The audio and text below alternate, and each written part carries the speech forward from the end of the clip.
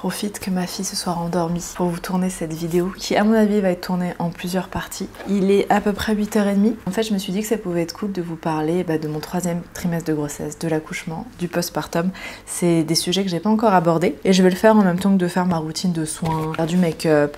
Donc je commence là avec un spray. C'est un hydrolat que j'ai mis dans une petite bouteille. Ça c'est ce que j'avais apporté avec moi à la maternité justement. C'est de l'hydrolat de bleuet. C'est hyper bien pour les peaux sensibles. Ensuite je vais mettre ce sérum là, le sérum de chez Adapto le Time Warp pour bien vieillir, il y a marqué. Les deux produits que je vais mettre, en fait, c'est deux produits que j'ai eu dans le calendrier de l'avant mon corner B, que moi j'ai ouvert en avance du coup pour voir un peu ce qu'il ce y avait. Et ensuite, je vais utiliser une huile, la Strawberry Booster de la marque Baby. C'est en fait une huile de pépins de fraise en fait. Je mets pas la lumineuse vu qu'il y a des huiles essentielles et que je préfère pas en utiliser pour l'instant. Donc je mets ça et ensuite je mettrai l'enchanteur sur les lèvres et un petit peu sur les sourcils. Voilà, comme ça je vous dis un peu ce que j'applique. Je vais pouvoir commencer le récit. On va parler d'abord du troisième trimestre.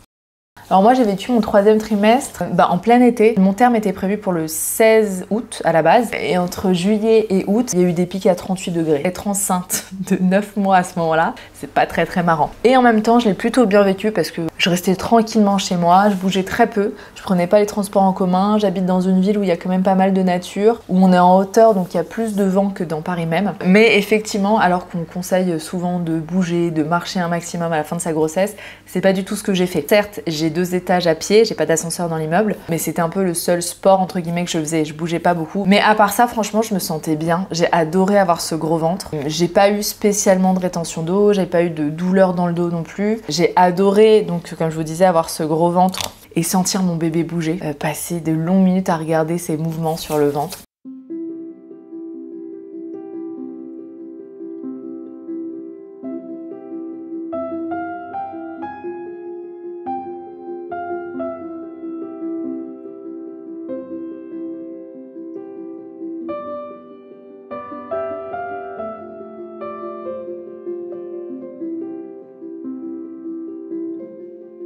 J'ai pas eu spécialement de contractions, j'en ai eu quelques-unes quand même dans les dernières semaines, mais c'était pas du tout des contractions douloureuses. C'est le corps qui s'entraîne, ça s'appelle les contractions de Braxton Hicks. Donc on va dire que franchement pour la fin de grossesse, je me suis sentie super bien, ce qui était un peu euh, miraculeux vu mon premier trimestre qui a été chaotique pour moi. Alors euh, d'un point de vue euh, physique avec les nausées, la fatigue, mais aussi moral. Franchement, je pense que j'ai fait une petite déprime quoi, parce que c'était un bébé surprise, parce que je m'attendais pas à ça, parce que ça a soulevé plein de questions, plein d'interrogations, plein de peurs, plein de doutes. On m'avait dit oui, tu vas voir en tout cas au niveau physique. Le dernier trimestre peut être un peu compliqué et en fait, euh, pas du tout. Chez moi, ça s'est super bien passé. J'ai eu des insomnies par contre, c'est vrai mais j'étais pas spécialement fatiguée la journée. Enfin, je me réveillais peut-être deux ou trois fois pendant la nuit. Je vous raconte pas combien de temps j'ai joué à Candy Crush du coup, pendant la fin de grossesse et euh, pendant l'allaitement plus tard.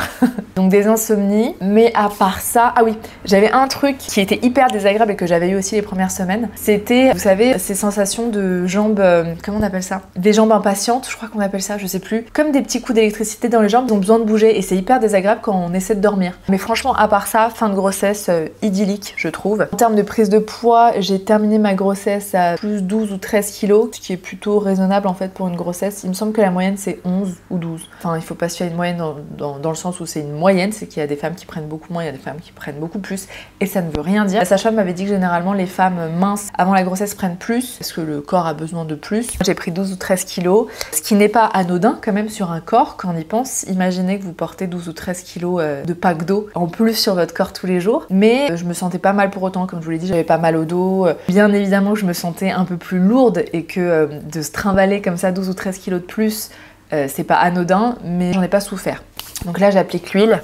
Je fais des petits massages en même temps. Cette vidéo, je l'articule grâce à une FAQ que j'ai postée sur Instagram euh, il y a quelques semaines. On m'avait posé plein de questions sur le troisième trimestre, sur l'accouchement, sur le postpartum, et du coup, je me sers de ces questions en fait pour articuler mon récit. Et là, on me demandait en fait à partir de combien de temps j'ai senti que j'allais accoucher. En fait, est-ce que j'ai eu des signes avant-coureur Et en fait, pas du tout. Moi, j'attendais la perte du bouchon muqueux. On m'avait dit que c'était un des grands signes. Et du coup, j'étais un peu déprimée de ne pas le perdre, en fait, de ne pas le voir partir, en tout cas, parce que je me disais, mais attends, mais, ça va durer encore combien de temps? Parce qu'en fait, il faut savoir que moi, j'étais persuadée, mais persuadée d'accoucher avant terme. Je sais pas pourquoi je m'étais mis ça en tête. Alors, pas beaucoup avant, mais j'étais persuadée qu'à partir de mi-juillet, donc un mois avant le terme, j'allais accoucher. Et c'est là que ça a été un petit peu compliqué, en fait, au niveau du moral. C'est comme j'étais persuadée d'accoucher à partir de mi-fin juillet. Chaque jour qui se rajoutait sur le calendrier, bah, ça me déprimait parce que j'étais en attente de. Ça, c'est un conseil du coup que je peux donner aux futures mamans. Quand on vous dit le terme, fiez-vous au terme. Ne vous dites pas que ça arrivera avant. Pour le moral, d'un point de vue psychologique, c'est mieux de se dire non, non, ça, sera la date du terme et pas avant. Le jour où j'ai accouché, donc il faut savoir que mes, mes contractions de travail ont commencé le 9 le 9 août au soir. Le matin même, j'ai senti comme une sorte de petit malaise, une sorte de ouais de nausée mais très légère. Ça m'a pas du tout empêché de faire ma journée. Je me souviens juste que je devais voir ma maman ce jour-là et le matin même, je lui dis je me sens un petit peu barbouillée. C'était pas très violent, ça m'a pas empêché ensuite de la voir euh, dans la journée ni de passer une journée normale, mais je dirais que c'est le seul signe avant-coureur finalement, c'est ce mini mini malaise. En ce qui est de la préparation de l'accouchement, ça je vous en avais pas mal parlé dans mes euh, précédentes vidéos sur la grossesse. J'ai suivi une préparation très classique avec une sage-femme. Bah rien de spécial, il me semble que c'était du coup 8 euh, séances. C'était des consultations euh, classiques dans lesquelles on abordait un thème spécifique à chaque fois. Donc il y avait euh, le thème de quelques heures avant l'accouchement, qu'est-ce qu'on fait à la maison pour préparer l'accouchement une fois que le travail a débuté? Ensuite c'était une thématique sur l'accouchement en tant que tel, ensuite sur les complications qu'il peut y avoir à l'accouchement, donc avec les instruments, tout ça, sur le postpartum, sur l'allaitement, etc. C'était très, très classique et moi ma sage-femme préparait principalement avec le souffle. Pardon, là je mets le... C'est pas du tout pratique de parler en même temps que de mettre du baume à lèvres, mais l'enchanteur. Et je vais utiliser ce qui me reste sur les doigts pour mettre un peu sur les sourcils parce qu'il y a l'huile de ricin dedans et c'est super du coup pour, euh, fortifier. J'en mets aussi le soir euh, au niveau des cils. Voilà, en termes de, routine de soins, c'est tout. Ensuite, je mets généralement juste euh, du déo. J'utilise toujours celui des petits prodiges, le déodorant 100% naturel pour peau sensible. Il n'y a pas de bicarbonate et surtout, il n'y a pas d'huile essentielle. Je vais terminer de vous parler du troisième trimestre et euh, ensuite, je passerai au make-up pour vous parler de l'accouchement. Donc, euh, moi, ma sage-femme, elle préparait principalement avec le souffle. Et en fait, pour gérer les douleurs de, contraction, il y a une technique à connaître, c'est la respiration en 4-8. Donc, d'inspirer en 4 et d'expirer en 8, d'expirer en deux fois plus. Donc, ça marche aussi en 2-4 et c'est d'inspirer en gonflant le ventre et d'expirer en rentrant le ventre, dans la mesure du possible quand on a un gros gros bidou. D'ailleurs, c'est une super technique de respiration pour se détendre ou pour gérer les douleurs dans tous les cas, même quand on n'est pas enceinte. J'ai eu la chance en fait de beaucoup bosser avec mon souffle depuis des années en fait. Vous, m'avez peut-être déjà entendu parler de la technique Soma, de vous parler de cohérence cardiaque, etc. Le souffle en fait c'est quelque chose que je connais bien, j'ai beaucoup travaillé et ça m'a énormément servi pour l'accouchement aussi. Mais en tout cas voilà ce qu'on avait fait euh, avec la sage-femme, elle me disait que pendant la montée de contraction c'était de respirer en 4-8 Excusez-moi, on a été coupé par un petit problème de batterie, du coup j'en ai profité pour aller me faire un café, un café avec du lait végétal. Et je mets en ce moment du sirop dedans, du sirop aromatisé. Là j'ai mis du sirop de vanille, j'ai un sirop à la noisette, c'est les miniatures de chez Monin. Je sais pas si vous voyez euh, quels sont ces sirops. Ça sucre le café, les lattés, tout ça, et ça donne un léger, très très léger arôme. La caméra n'est pas très droite, mais c'est pas très grave, n'est-ce pas? Donc comme je le disais, oui, une préparation très classique, de la sophro plus qu'autre chose. Il y a plein de, préparations à l'accouchement différentes. Il y a l'aptonomie qui m'avait vachement tenté, mais en fait moi j'ai trouvé que pendant la grossesse, il y avait déjà énormément, énormément de rendez-vous.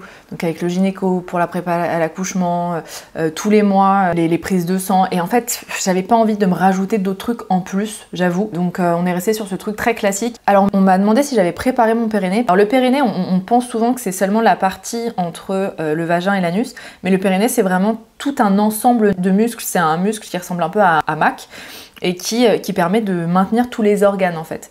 Donc est-ce que j'ai préparé mon périnée pour l'accouchement? Il faut savoir qu'effectivement pendant l'accouchement, bah, pour, euh, pour laisser passer le bébé, tout s'étire et il peut y avoir des déchirures. C'est pour ça que parfois le médecin préfère prévenir les, déchirures en faisant une épisio. Et donc euh, certaines personnes préconisent de préparer le périnée en massant le périnée pour commencer à l'étirer afin d'éviter les déchirures. Justement, moi j'en ai parlé à ma sage-femme parce que d'elle-même, elle ne m'en avait pas parlé. Donc un jour, pendant la prépa à l'accouchement, je lui ai dit que je devrais commencer à masser le périnée? Parce qu'on dit de le faire plutôt à partir du huitième mois, il me semble. Je sais plus exactement. en fait, elle m'a dit qu'elle était assez partagée sur le sujet parce qu'il faut savoir qu'en fait, pendant l'accouchement, il va y avoir euh, beaucoup beaucoup d'hormones de sécréter, dont des hormones qui vont permettre à la peau de devenir beaucoup plus élastique et donc au périnée aussi. Au moment où on se masse le périnée, on n'a pas ces hormones-là, on n'a pas cette élasticité de peau. Et elle disait qu'il y avait pas vraiment d'études qui prouvaient que ça fonctionnait, que c'était euh, hyper nécessaire de le faire.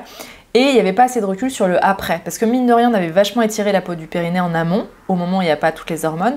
Donc, qu'est-ce qui se passe après l'accouchement, une fois que le corps est revenu un peu à la normale? Est-ce que finalement la, peau n'aurait pas été trop étirée par les massages? Elle disait pas du tout de pas le faire, hein, mais elle n'était pas forcément pour. Et c'est pas la première j'entends dire ça, j'en ai parlé à une autre de mes amies qui, est encore enceinte au moment où je vous fais cette vidéo. Et sa sage-femme lui a dit pareil.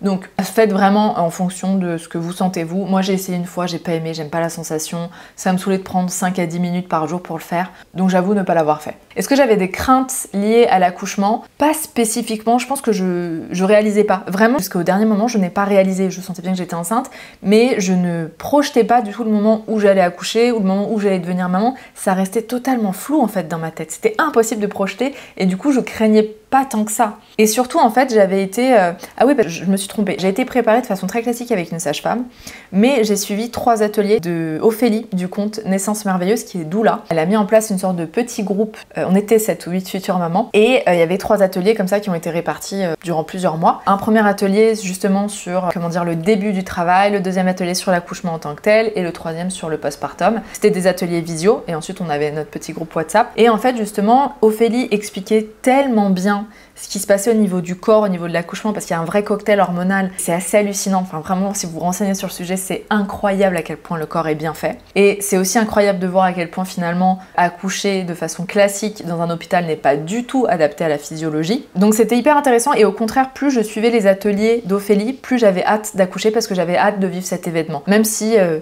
je savais pas à quoi m'attendre en termes de douleur. Après, vous savez, il y a les craintes classiques. Mais est-ce que je vais avoir mal? Est-ce que je vais supporter? Est-ce que je vais être à la hauteur? Est-ce que je vais réussir? Est-ce que je vais aimer mon bébé au moment où il arrive? Il y a toutes ces craintes-là qui étaient là, mais pas au point euh, d'être complètement apeurée et d'être complètement paniquée. Euh. donc je le vivais plutôt bien et c'est le fait de me renseigner beaucoup sur ce que mon corps allait créer à ce moment-là, ce, que mon corps allait mettre en place. Je vous assure que quand vous comprenez ça, c'est incroyable. En fait, c'est ce que Ophélie explique au tout début. Elle dit Je ne suis pas là pour vous apprendre à accoucher, parce que votre corps sait très bien le faire. Il y a ma poupée qui est en train de se réveiller. Donc je vais terminer cette question, je vais aller la voir. Je ne suis pas là pour vous apprendre à accoucher parce que vous savez très bien le faire. Par contre, euh, je vais vous donner toutes les clés pour que votre mental puisse se mettre de côté et laisser votre corps faire les choses. Bon, entre temps, je suis allée chercher ma fille qui est à côté de moi, qui est à ma gauche, à ma droite, on a Timaya, mon petit chien. Je suis très bien entourée pour faire cette vidéo. Oui, donc comme je vous le disais, le fait d'être préparée et de connaître un peu tout ce qui se passait dans le corps, ma fille elle est ok, donc peut-être que vous l'entendrez. Le fait de connaître tout ça, ça m'a vachement rassurée. J'avais limite hâte de connaître ça. J'étais curieuse parce que comme je savais pas ce que la douleur allait être, je savais pas ce qu'on ressentait à ce moment-là, j'étais curieuse ouais, de vivre cette expérience. C'est quand même incroyable ce processus. Donc il y avait un mélange de crainte et de curiosité, d'envie et de hâte. J'avais pas encore vraiment hâte de rencontrer mon bébé dans le sens, comme je vous le disais, je conscientisais pas, je projetais pas, j'étais très... Euh, même en fin de grossesse, c'est pas réaliste. On a beau voir les échos, les échos en 3D, de voir son bébé bouger, tout ça, on se rend pas compte qu'il y a un, il y a un vrai petit bébé, il y a un vrai être humain à l'intérieur de soi. Moi, quand j'imaginais mon bébé, j'imaginais une sorte de, bébé dessin animé en fait dans mon ventre. Je réalisais pas du tout qu'il allait avoir un, un, réel, oui, un être humain en fait qui allait sortir de moi. Donc j'étais même pas dans cette hâte là. Ouais, parce que je réalisais pas. On m'a posé des questions sur la valise de maternité aussi. Alors pour le coup, je vous conseille vraiment de suivre la liste qui est donnée par la maternité, par la clinique. Généralement, ils disent un peu euh, ce qu'il faut. Bien évidemment, prévoir les affaires bébés, les bodys, les gigoteuses, des langes. Généralement, pour tout ce qui est affaires de toilette euh, et couches, c'est eux qui donnent au début. Des petites serviettes pour donner le bain là-bas si vous avez envie que le premier bain soit donné à la maternité. Nous, c'était pas le cas. Le premier bain l'a donné à la maison parce qu'on a attendu quelques jours. Prévoyez en fonction de la liste qui vous est donnée et en plus de ça, pour vous, je dirais de prendre des affaires dans lesquelles vous allez vous sentir bien, à l'aise et en même temps belle. Vous voyez, c'est pas le vieux jogging, le vieux sweat dans lequel euh, voilà, vous aimez traîner mais dans lequel vous vous sentez pas hyper sexy. Je trouve ça bien d'avoir des vêtements qui puissent faire les deux parce que c'est un moment où vous allez être fatigué, le après c'est évident, euh, fatigué de l'accouchement, fatigué de, bah, des premières nuits avec bébé. Donc si en plus de ça, quand vous vous croisez dans le miroir, bah euh, il y a des pensées négatives, vous vous trouvez pas belle et tout ça, ça peut encore plus plomber le moral. Donc moi j'avais vraiment euh, bah, des longues robes amples, hyper agréables mais en même temps un peu, un bohème que j'aime bien mettre et qui sont en même temps faciles pour allaiter. J'avais pris une jolie nuisette très longue, très agréable et jolie j'avais pris du make-up quand même euh, parce que je m'étais dit voilà comme ça je vais rythmer un peu mes journées et je vais me prendre au moins 5 minutes le matin pour me maquiller. J'avais même pris un masque visage au cas où, alors ça je l'ai pas fait. Donc je vous conseille voilà de prendre des affaires qui vont euh, vous permettre de vous sentir bien et jolie. Ça paraît hyper futile hein, ce que je vous dis, mais je vous assure que moi ça m'a aidé. De prendre une bouilloire aussi parce que il en avait pas à la clinique, il y en avait pas à la maternité pour vous préparer bah, vos tisanes. Donc une bouilloire plus des tisanes que vous aimez, peut-être pourquoi pas des tisanes d'allaitement. De prendre aussi, moi j'avais acheté des petits petits bouillons miso justement à faire à mettre euh, dans un bol avec de l'eau chaude, hyper pratique aussi parce que je trouve que l'alimentation est hyper importante après et généralement l'alimentation, enfin la bouffe qu'on donne à l'hôpital à la clinique n'est pas du tout adapté au postpartum. Donc des bouillons, des trucs réconfortants comme ça. Et moi j'avais pris des sachets euh, euh, d'oléagineux, vous savez, des amandes, des noix de cajou, euh, des fruits secs, des dattes, tout ça, des, choses qui sont et qui en même temps qui donnent de l'énergie pour tenir bon. Et éviter quand même les trucs hyper sucrés. Bon, bien que c'est hyper important aussi de se faire plaisir, mais il faut trouver pareil la juste balance à mon avis entre le plaisir et la santé, parce que c'est hyper important selon moi d'aider le corps aussi à guérir après ça. Guérir, c'est pas le bon terme parce que il, il était pas malade, mais d'aider le corps en tout cas à reprendre des forces. Donc ça, une petite veilleuse, ça peut être super cool. J'avais pris mon ordi pour regarder des séries. J'avais pris un livre, mais autant vous dire, j'ai pas beaucoup lu à la clinique. Voilà, c'est ce qui me vient en tête. Euh, oui, prenez peut-être une huile pour le corps qui sent bon, un gel douche qui sent bon, quelque chose qui vous fait plaisir. C'est hyper important pour après. Pour clôturer cette première partie du troisième trimestre, on m'a aussi demandé si j'avais fait un projet de naissance. Un projet de naissance, c'est une feuille qu'on imprime et qu'on va donner à l'équipe de sage-femme ou au gynécologue au moment d'accoucher pour donner un peu sa vision des choses. On avait fait un projet de naissance. Euh, on avait dit déjà qu'on voulait des lumières tamisées si c'était possible dans la salle d'accouchement, si on pouvait mettre de la musique. Moi, j'avais mis euh, pas d'épisio sauf si urgence, pas d'instrument sauf si urgence, pas de césarienne sauf si urgence. J'avais demandé qu'on me pose la péridurale le plus tard possible ou pas de péridurale du tout. Je m'étais pas... Euh, ben oui, je m'étais pas focalisée là-dessus, mais je voulais vraiment que la péridurale soit posée le plus tard possible, histoire que je puisse bouger, que je puisse marcher, que je puisse euh, faire ma vie le temps d'eux. On avait mis les clampages tardifs du cordon. Je voulais que ça soit moi qui coupe le cordon aussi, ça je vous expliquerai pourquoi plus tard. Que je puisse me mettre dans la position que je veux pour accoucher. Et que s'il y avait césarienne, euh, que le papa puisse être là, que le papa puisse faire du pot à pot. J'avais bien évidemment demandé le pot à pot direct, la tétée de bienvenue parce que je voulais allaiter. C'est une feuille dans laquelle on, on donne sa vision de l'accouchement idéal. Et idéalement, le euh, l'équipe suit ces souhaits-là. Apparemment, c'est pas toujours le cas. Ils n'ont pas toujours le temps non plus de prendre tout en compte et de se rappeler exactement ce qu'on avait noté. Mais c'est bien d'avoir une trace écrite. C'est hyper bien de donner sa vision. Et, c'est même bien d'y réfléchir en amont, en fait, même pour vous, même si vous donnez pas cette liste. Le fait d'en parler à son amoureux ou à sa partenaire, qu'importe, c'est hyper intéressant pour visualiser ce moment-là et pour voir euh, bah, comment on voit les choses tous les deux, en fait. Bon, je vais nourrir ma fille, qui je pense commence à avoir faim. Et ensuite, je vous reprends avec euh, la suite de la routine. Je vais maquiller un petit peu et on va parler de l'accouchement en tant que tel. Alors je me suis déplacée pour pouvoir me maquiller, pour pouvoir m'installer un petit peu plus confortablement. Et j'ai ma fille qui est juste là dans son couffin.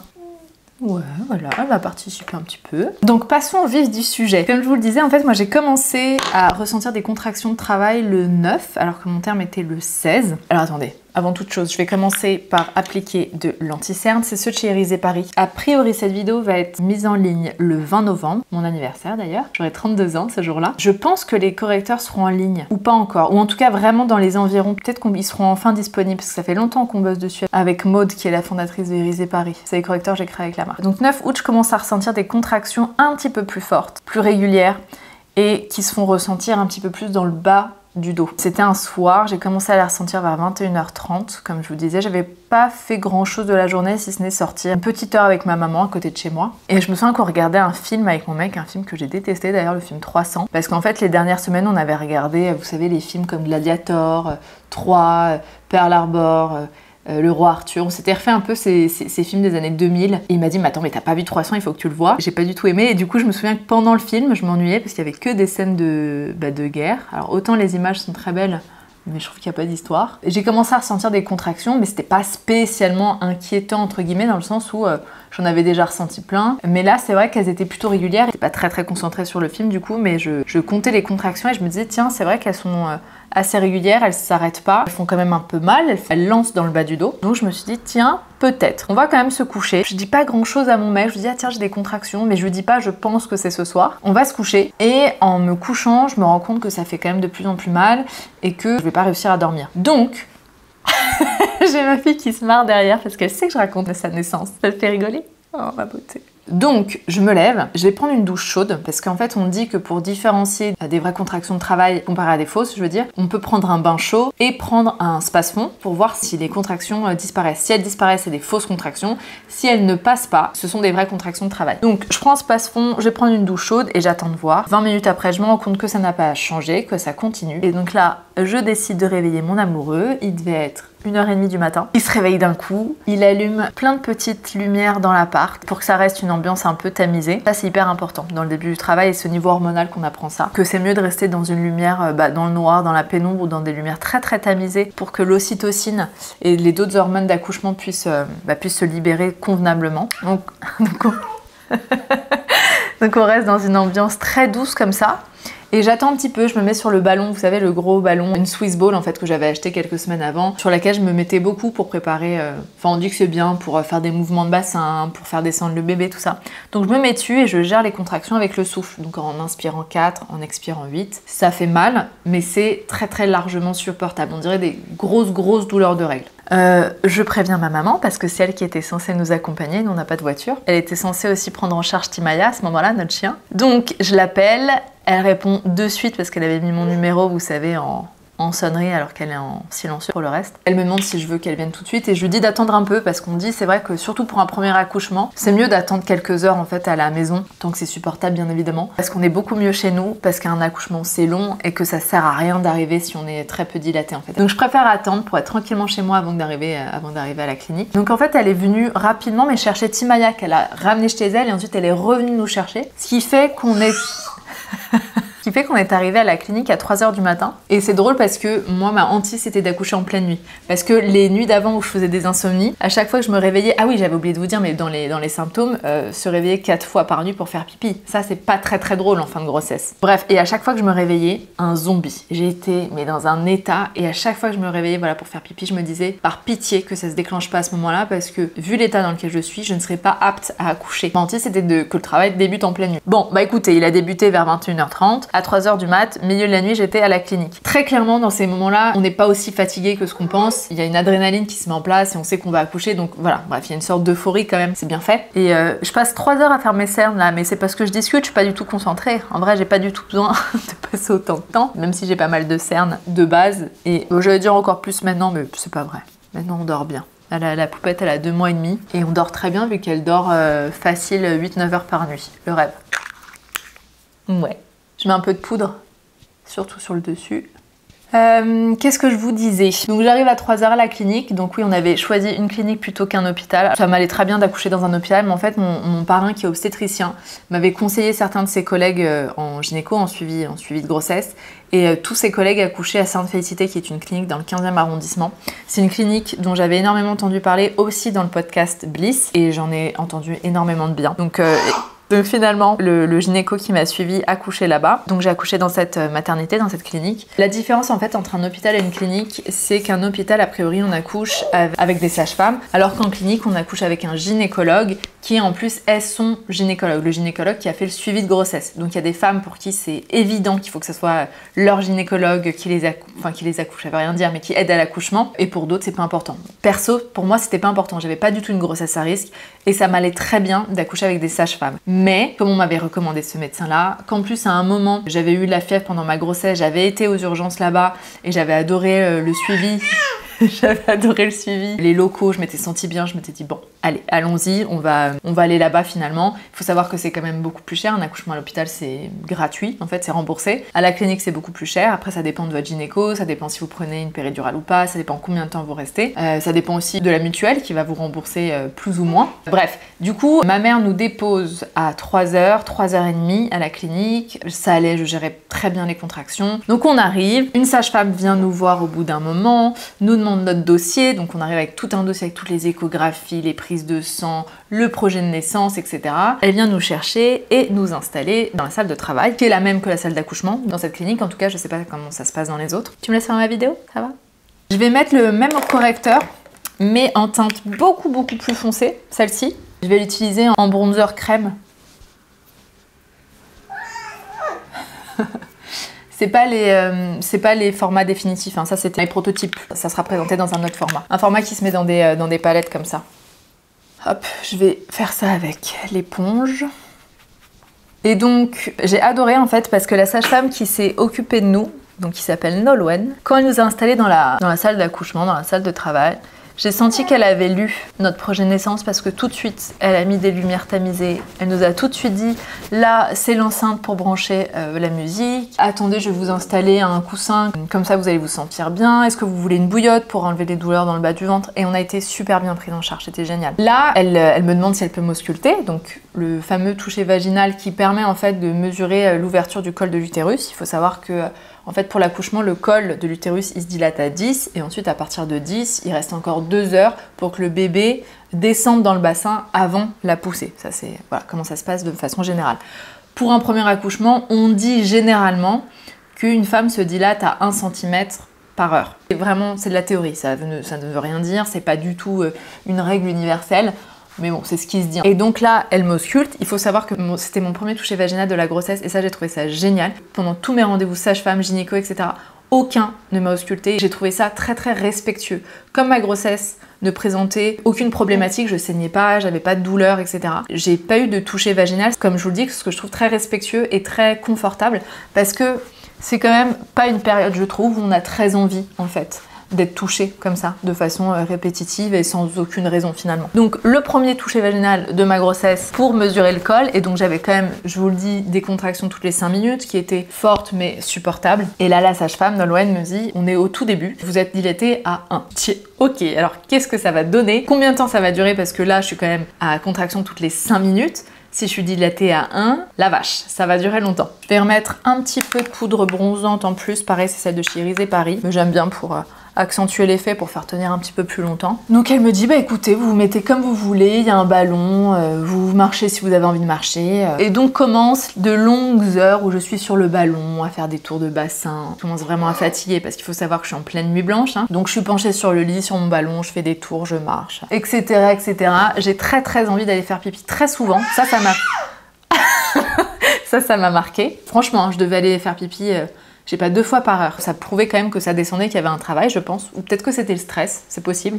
Parce que je me souviens pas avoir. Euh, ouais, j'avais pas spécialement bu. Et donc, toutes les heures, quand même, Nolwenn vient. Deux heures après, ça augmente à deux. Donc, plutôt cool. Le travail suit son cours et elle dit bah écoutez, euh, voilà, à partir de deux, quand vous voulez pour la péridurale, mais comme je sais que vous voulez euh, patienter un peu marchez, bougez, faites ce que vous voulez. Vous la demandez quand vous voulez, quand vous sentez que c'est bon timing pour vous. À 8h, il faut savoir que les sages-femmes euh, se reposent parce qu'elles font du 8h, 20h en fait. Et donc là, il était 8h, Nolwenn finissait sa garde. Et donc Noémie, qui est la deuxième sage-femme, vient se présenter, celle qui prend le relais. Et elle décide de, euh, pareil, de m'ausculter. Et elle me dit, bah voilà, Nolwenn m'a dit que vous étiez à deux, là ça fait... Euh, ça fait plus de 3 heures, plus de 4 heures même que vous êtes arrivé, ou ça faisait plus de 4-5 heures même que j'étais arrivé, je vais vous occulter pour voir si ça évolue bien. Et là, en fait, on se rend compte que je reste à deux. Et en fait, euh, il y a une salle nature dans cette clinique. Ça, c'était un truc qu'on avait aussi inscrit dans, le projet de naissance, c'était euh, de pouvoir être dans la salle nature euh, si elle est disponible. Et dans la salle nature, en fait, il y, a, un bain, il y a un très très grand lit rond pour pouvoir prendre toutes les positions, je pense, de travail. Il y a des sortes de voiles qui pendent au plafond euh, pour pouvoir se suspendre. C'est vraiment super pour un, accouchement physio. Et donc j'avais vraiment dit que je voulais pouvoir aller dans cette euh, salle nature en fait. Je crois pas que ce soit une salle de naissance, je suis pas sûre qu'on puisse y accoucher. Euh, je commence à quand même être très très fatiguée parce qu'il faut savoir que j'avais pas dormi depuis longtemps. Et donc à 10h, je décide de prendre un bain parce que j'ai de plus en plus de mal à gérer la douleur. J'en pouvais plus. Ça m'arrivait même de m'endormir en fait entre les contractions. Entre les 4 ou 5 minutes, je sentais que je m'endormais, je sombrais et hop, la douleur faisait que je me réveillais. Et la douleur, c'est vraiment une douleur de contraction, c'est-à-dire une contraction musculaire. On sent que ça monte, que ça se contracte, que ça se contracte. C'est vraiment comme une vague. En haut de la vague, c'est ça se contracte au maximum et ensuite ça se décontracte, ça se desserre. Et donc pendant cette, on va dire, je crois que c'est à peu près une minute, euh, la contraction ne dure pas plus. Hein. C'est là que la respiration fonctionne vachement, d'être vraiment concentré sur la respiration et de relâcher surtout toutes les tensions dans le corps. Et c'est un peu à contre-courant de ce qui se passe, justement, c'est ça qui fonctionne. C'est pas, on va dire, intuitif à faire, mais c'est vrai qu'au moment où la douleur nous crisperait, c'est le moment de relâcher tout, de lâcher le souffle, de desserrer le visage, de desserrer la mâchoire, de se détendre le maximum, de faire des ronds comme ça. Et ça m'a aidé parce que j'ai quand même tenu très longtemps avec des contractions à toutes les 4 ou 5 minutes. Je vais dans le bain. Le bain me fait énormément de bien parce que je sens beaucoup moins les contractions je les sens même presque plus. Et j'ose espérer en fait que ça va aider le col à se dilater. Noémie revient pour m'ausculter dans le bain. Il faut savoir que j'avais un monitoring quand même tout le, long. Euh, le cœur du bébé allait super bien. Par contre, on se rend compte que ça n'évolue pas en fait. Le col reste dilaté euh, K2. À 13h, ça n'avait pas changé. Je vais mettre du mascara, le Ilia, bien sûr, mon mascara préféré. À midi, ça n'a pas évolué, ça n'a pas changé. Et là, mon gynéco était dans les locaux, parce qu'il faut savoir que le gynéco, en fait, il est appelé seulement pour aider euh, sa patiente à accoucher. Il n'est pas là tout le long non plus, heureusement, parce qu'il ne pourrait pas gérer plusieurs accouchements. Donc il est appelé vraiment à la fin du travail. Et mon gynéco était dans les locaux à ce moment-là. Je pense qu'il venait, venait d'aider une femme à accoucher. Et il vient me voir, j'adore, parce que c'est quelqu'un de très très doux très respectueux, très pudique en même temps, j'ai trouvé, et très positif, quelqu'un de très positif. Donc il arrive, ah, bah, c'est génial que vous soyez comme ça, ça me fait plaisir de vous voir dans cet état-là, de vous voir toute souriante. Bah écoutez, la bonne nouvelle c'est qu'effectivement le col réagit, hein, il s'est raccourci, il s'ouvre. Par contre, c'est vrai que c'est long, on est qu'à deux, ça n'évolue plus. Donc soit on reste dans votre souhait d'accouchement physio, le plus physio possible, et vous pouvez rentrer chez vous, vous allez peut-être vous sentir mieux chez vous, vous allez pouvoir euh, vaquer à vos occupations et vous revenez quand vous voulez. Ou bien, peut-être que vous en avez marre, peut-être que vous êtes fatigué parce que ça fait quand même... Bah là, ça allait faire... Euh, ça faisait plus de 12 heures que j'étais là avec des contractions très régulières. Il me dit donc là, si vous êtes fatigué, nous, on peut donner un coup de boost. En fait, en perçant la poche des os, que je vous conseille quand même pour percer la poche des os, c'est de poser la péridurale avant et on peut booster avec euh, de l'ocytocine de synthèse. Et en fait, à ce moment-là, moi, j'hésite pas du tout. Faut savoir que moi, je voulais le moins de trucs de synthèse possible. Je voulais pas qu'on perce la, poche des os juste pour accélérer le truc. Je l'avais bien noté sur mon projet naissance. Sauf qu'à ce moment-là, il n'y a plus aucune hésitation. Là, je sais que je commence à arriver au bout de mes forces. J'étais trop fatiguée. C'était pas du une bonne solution en fait, pour accoucher, pour pousser ensuite. Donc là, j'hésite pas, je lui dis non, non, mais alors ne vous, ne vous en faites pas, on va poser la péridurale, on va percer la poche des os, et on va voir comment ça évolue. Parce que moi, je voulais quand même éviter au maximum la césarienne. C'était un peu ma peur. Donc, on me pose la péridurale, aucune douleur. Mon mec a pu rester dans la chambre avec moi, c'est pas comme dans Baby Boom, je sais pas si vous regardez, où généralement le papa doit sortir. Instantanément, ça m'a soulagée, mais ça a été, je pense, le moment le plus, non, j'allais dire le plus merveilleux de ma vie. Peut-être pas exagéré, mais ça m'a fait tellement bien parce que d'un coup, on sent son corps qui, euh, qui se détend, qui relâche toutes les tensions. On sent plus la douleur et euh, on se sent même peut-être un petit peu, euh, un petit peu shooté, un petit peu, petit peu stone, mais dans le bon sens, dans le sens très très détendu, vous voyez. Et donc là, je me souviens même qu'après, j'ai pu m'endormir peut-être une heure et demie, deux heures. Cette péridurale me fait énormément, énormément de bien.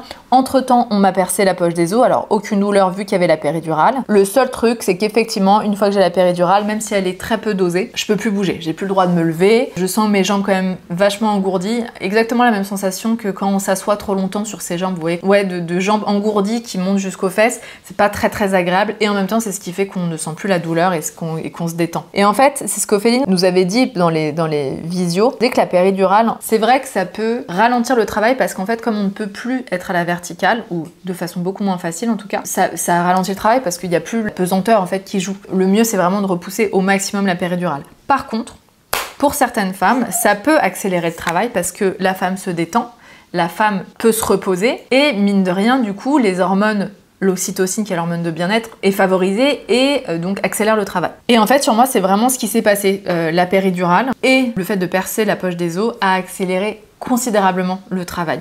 Donc je regrette absolument pas et il faut, euh, je pense que si j'ai un message à faire passer pour les futures mamans, c'est que c'est génial d'avoir une vision de son accouchement, de savoir ce qu'on veut, de, le mettre par écrit dans un projet de naissance, mais il faut vraiment rester ouvert à toutes les possibilités et à ce qui va se passer dans le moment présent parce que ça se passera sûrement pas comme on l'a imaginé et de se faire confiance au moment présent en fait. C'est-à-dire que même si dans ma tête, dans ma vision, j'aurais adoré éviter la péridurale pour plein de raisons. Et en fait, je vous dis ça. Est-ce que je. Non, j'étais pas, j'étais pas pro euh, accouchement 100% physio. C'est pas vrai.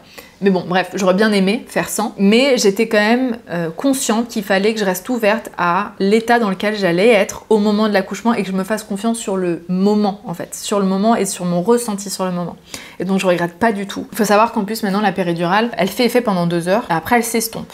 Et c'est à nous, on a un petit bouton ensuite. Si on a de nouveau mal, si on veut redonner une dose, hop, on a juste à appuyer sur ce bouton-là. Et de nouveau, la péridurale fait effet. Donc si on a envie euh, de ressentir beaucoup plus, il suffit de ne pas appuyer sur le bouton. Bref, je peux me reposer. Donc il faut savoir, voilà, je pense que la péridurale a été posée à 14h. Et à 16h, Noémie revient m'ausculter et se rend compte que je suis ouverte à 6. Trop cool, ça fonctionne super bien. Là, j'ai commencé à réaliser en fait. Quand on m'a dit, bah c'est super, on est ouvert à 6, ça va aller vite. Là, je me dis, oh waouh, ça va aller plus vite que prévu. Parce qu'en fait, même si j'étais en, travail en arrivant, je me dis, il reste encore des longues heures avant que je devienne maman en fait. Donc je réalisais toujours pas. Là, quand je suis ouverte à 6, que je sais que ça peut arriver en 4 heures même pas, que ça va vite, que là je vais rencontrer mon bébé, que je vais devoir pousser, etc. J'ai une montée de stress, mais une montée de panique. Et je commence à trembler, mais à trembler d'une façon que je n'ai jamais tremblé de ma vie. Vraiment à, ne même pas pouvoir parler tellement je claquais des dents. Ça, ça a été assez stressant en fait parce que comme je savais pas exactement ce qui se passait, ça me faisait paniquer et la panique ne faisait que rentrer renforcer les tremblements. Donc là, je demande à mon mec de m'aider à respirer, dans le sens où plutôt que de compter moi dans ma tête le 4-8 pour me détendre, je lui ai dit est-ce que toi tu peux compter? Est-ce que tu peux respirer de façon assez forte et prononcée pour que je puisse te suivre sans réfléchir à compter et que je puisse vraiment me détendre? Et en fait, je ferme les yeux à ce moment-là et je suis le souffle de mon mec. Ça m'a vachement aidé et ça, ça me rappelle euh, la vidéo que Eliane, Eliane C avait fait justement sur son accouchement où elle parle effectivement de son amoureux, de son mari qui respire à sa place entre guillemets, hein, vous comprenez le truc, et elle suit son souffle et que ça l'avait vachement aidé. Et eh bien c'est vrai, c'était un très très bon conseil. Parce que en fait on peut pas vraiment complètement se détendre si on compte aussi. Donc c'est génial si votre partenaire peut respirer peut compter à votre place. Et donc ça m'aide vachement. Et en fait, je demande après à Noémie, euh, parce que je continue quand même un petit peu de trembler, elle me dit alors ça c'est normal, c'est un des effets de la péridurale. Et en plus de ça, vous avez une montée d'adrénaline qui fait que euh, bah, c'est le cocktail euh, chimique qui fait que vous tremblez et que ça peut être très impressionnant. Il n'y a pas grand chose à faire à part voilà, se détendre. Donc je me repose de nouveau, tout se passe bien, les, heures passent très vite quand même, parce que je pense que je m'endors de temps en temps. Je remets quand même des petites doses de péridurale parce que, euh, parce que je sens que ça s'estompe et que les contractions, quand même, quand on est ouvert à, à 8, eh ben, ça fait assez mal quand même. Et là, il me semble qu'à 17h, je suis à dilatation complète. Donc ça allait super vite, comme vous le voyez, entre la péridurale où j'étais ouverte à 2 et quelques heures après, je suis à dilatation complète. Et là, Noémie me dit, bah alors c'est super, on a dilatation complète, on a encore 2 euh, heures pour euh, laisser le bébé descendre tranquillement dans le bassin je vais appeler votre gynécologue pour le prévenir voilà, que vous allez bientôt accoucher. Les heures passent, je sens effectivement une sorte de poids dans le bassin. C'est assez dérangeant d'ailleurs, comme euh, j'ai pas adoré cette sensation parce que je sentais pas vraiment. En fait, je sentais qu'il y avait un poids, mais j'étais quand même sous péridurale, donc c'était une, sensation très vague de, pression au niveau du, du, bassin. Et on sait pas exactement ce qui se passe, donc c'est un peu. C'est bizarre parce qu'en plus, c'est pas très glamour ce que je vais vous dire, mais au moment où on perce la poche des os, donc il y a du liquide amniotique qui sort évidemment, il y a aussi un peu de sang. Donc en fait, on sent que cette zone est, euh, il se passe plein de trucs en fait. On a un peu de sang, c'est un, peu humide parce qu'il y a du liquide. Euh, on sent une pression, on sait pas exactement ce que c'est. Donc c'était pas, c'était pas très agréable. Je sens que ça descend, je sens une pression, euh, je recommence à avoir mal. J'hésite à remettre un coup de péridurale parce que je me dis, ouais mais là ça va pas tarder et j'aimerais quand même sentir pour pouvoir pousser convenablement. Et en même temps, mon gynéco n'est pas là parce que au moment il arrive, finalement, il a appelé sur un autre accouchement euh, plus urgent parce que le cœur du bébé est en moins bon état que le nôtre, parce que nous, euh, il n'a pas fait de ralentissement ni quoi que ce soit, tout se passait super bien, donc il n'y avait pas d'urgence en fait en tant que tel. Et il faut savoir que à 20h, du coup, il n'était toujours pas là. Il était toujours sur un autre accouchement, plus urgent j'imagine. Donc Noémie finit sa garde, j'étais dégoûtée qu'elle qu'elle puisse pas euh, assister à mon accouchement parce que les deux sages-femmes que j'ai eues ont été géniales. Et c'est en fait de nouveau Nolwenn qui nous avait accueillis la veille qui revient à 20h en disant bah dis donc je pensais pas assister à votre accouchement, je pensais pas vous revoir. Donc c'est Nolwenn qui à 20h arrive, pareil mon gynéco arrive à 20h. Et il me dit alors bah ça y est, on va, on va débuter. Je suis désolée de pas de pas être venue avant, mais le cœur du bébé allait très bien. C'est pas plus mal, au moins elle est descendue euh, dans le bassin, elle est bien basse et, euh, et voilà. Et en fait, il me rassure vachement au moment où il s'installe, il dit alors là, vous voyez, ça va être peut-être être un petit peu impressionnant, un petit peu stressant parce que vous nous voyez nous installer, préparer les instruments, euh, mettre les draps, mettre les pieds sur les étriers, etc. Mais vous en faites pas, ça va bien se passer. Je vous laisse mettre votre musique. Là, dans quelques minutes, vous rencontrez votre bébé, vous allez voir, c'est un super moment. Et là, c'est vrai que ça passe très vite. Et j'aimais, en fait, moi, ce que j'ai ressenti, c'est que j'avais même plus le temps de stresser en fait à ce moment-là parce qu'on est dedans, on est en pilote automatique. Et chose très drôle, en plus, on décide de remettre de, remettre de la musique. On avait mis de la musique vraiment tout le long du travail j'avais mis en boucle ma playlist Spotify de Héloïse Beauté, vous savez, ma marque. C'est une, une playlist très douce et j'avais envie de ce genre de musique pour l'accouchement. Et donc je remets cette musique-là. Et en fait, manque de peau, comme c'est des, des, enceintes Bluetooth, il faut savoir que euh, parfois on captait les téléphones de la chambre d'à côté, donc c'était pas nos musiques à nous, parfois c'était nous qui mettions nos musiques dans la chambre d'à côté. Bref, on avait eu plusieurs petits euh, soucis, entre guillemets, euh, petits rires plutôt, comme ça pendant le travail. Et là, on, on, connecte notre musique, mais finalement c'est pas la nôtre, c'est la chanson de Beyoncé qui se met en marche, If I Were a Boy. Et je commence à rire en disant bah non, ça c'est pas la mienne. Et en fait, le fait de rire, le gynéco était déjà installé, il était devant moi, j'avais les deux pieds sur les étriers, parce que finalement, euh, je me suis, voilà, je suis bien en position euh, d'accouchement classique, même si c'est pas du tout la position la plus physio. Hein. J'aurais pu accoucher d'une autre façon, mais je me suis dit, on va tester comme ça et on verra après si je suis mieux sur le côté ou, ou qu'importe. Et donc je ris et il me dit, ah bah génial, je vois le bébé et le fait que vous riez, ça l'a fait descendre. Donc si vous pouvez continuer à rire, c'est parfait, ça va descendre tout seul. Attendez, je fais une petite pause dans mon récit parce que je vais mettre un petit peu de blush pour Et il me dit, euh, bah écoutez, c'est quand vous voulez, vous soufflez. Donc il y avait lui et il y avait juste Nolwenn, du coup, la sage-femme à côté de moi. qui me demande si je sens les contractions et pour très honnête je les sentais plus parce que j'avais remis une dose de péridurale très très peu de temps avant. Donc elle m'aide, elle a une main sur mon, sur mon ventre comme ça et elle sent les contractions et c'est elle qui me dit euh, quand pousser. Je fais ma, première poussée. Il faut savoir que pour pousser, il y a deux types de poussées en fait. C'est ce qu'on voit en préparation à l'accouchement. Il y a une poussée, euh, c'est la poussée qu'on voit généralement dans les films ou euh, dans Baby Boom. D'ailleurs, je sais pas si vous regardez cette émission. C'est la poussée en apnée. Donc on prend la respiration, on bloque et on pousse très très fort. Et il y a une autre poussée qui est la poussée, je crois qu'on appelle la poussée expirée, qui est une poussée qui est plus douce qui consiste en fait à prendre beaucoup d'air et à rentrer son ventre en même temps qu'on expire. Ça, la sage-femme m'avait dit que c'était la mieux, c'était la plus douce, celle qui préservait le mieux le périnée, qui était la respiration la plus physio, mais que comme c'était euh, la poussée la plus douce, c'est peut-être pas ce qui correspondait le plus à euh, un premier accouchement. Et c'est pas parce que par exemple vous faites une poussée en apnée que vous pouvez pas faire celle d'après en expiré et inversement. Suivez aussi les conseils de votre gynéco, de la sage-femme sur le moment même. Il va vous dire exactement comment pousser selon euh, votre cas à vous. Je savais que l'idéal c'était d'expirer, mais je pensais qu'instinctivement j'allais pousser en apnée. Et eh bien pas du tout. L'instinct a fait que j'ai poussé à chaque fois en expirant un petit peu d'air. C'est pour ça que je vous dis que moi le travail du souffle m'a énormément aidé parce que j'étais habituée à tout ça. Et ça a super bien fonctionné parce que euh, j'ai poussé, mais même pas 8 minutes, je crois, en tout. Il faut savoir qu'on ne pousse pas 8 minutes de suite, hein. c'est 8 minutes à chaque fois entrecoupées peut-être d'une minute entre les contractions. Donc ouais, je crois que j'ai poussé 4 ou 5 fois maximum et que les poussées étaient hyper efficaces, que ma fille est parfaitement descendue, alors sûrement parce qu'on a bien attendu en fait avant de, avant de commencer la poussée, parce qu'elle a eu le temps de descendre dans le bassin. Donc ça a été hyper efficace, ça a été un moment magnifique. Moi, j'ai adoré pousser parce que c'est à ce moment-là que je me suis sentie vraiment actrice de l'accouchement. J'étais pas là à attendre que ça se passe, j'étais pas là à subir en fait les contractions. Là, j'étais dans mon moment de warrior et j'ai adoré cette sensation de pousser. Ça faisait